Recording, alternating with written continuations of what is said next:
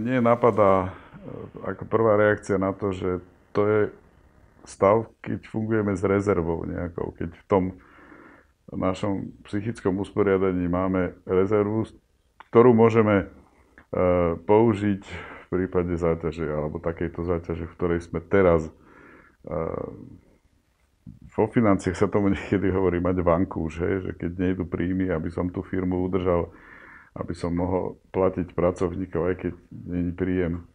Tak je to, je to nejaký taký uh, mentálny vankúš a ten je daný uh, nie len tými vnútornými schopnosťami človeka alebo tou kapacitou nejakou emočnou, hlavne asi emočnou, uh, že, že dokážem uh, zvládať nejakú, nejaké nárazové strachy alebo takú nejakú ľahkú úzkosť, ktorá sa vynorí, keď som v situáciách, ktoré neviem, ako budem riešiť ale je to aj o vzťahoch. E, je to o tom, že či mám okolo seba niekoho, možno že len jedného, to, to je výborné, jeden úplne stačí, e, o koho sa môžem oprieť, kto, čomu ja verím, že ma počúva a je empatický, chce, chce e, porozumieť tomu, čo ma trápi a, a má záujem na tom, aby sme sa možno aj spoločne niekam pohli do nejakej väčšej pohody. A, a, a na to potom zase sa vraciam k tým vlastným kapacitám, aby som sa vedel sústrediť, lebo v negatívnej emócii e, sa nám naša racionálna schopnosť debilizuje, proste zoslabuje veľmi výrazne. Keď sme v strese, keď sme vylakaní, tak nevieme ani násobilku počítať, obrazne povedané.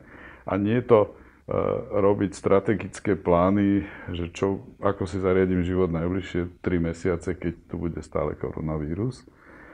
No, čiže keď sa upokojím, keď mám tú emočnú kapacitu, rezervu nejakú, s ktorou sa viem sám tzv. predýchať, alebo mi niekto pomôže sa vzájomne spoločne upokojiť, tak potom sme zase schopní eh, rozum, rozum použiť a robiť nejaké racionálne rozhodnutia, eh, ktoré nám pomôžu sa každodenne rozumne správať.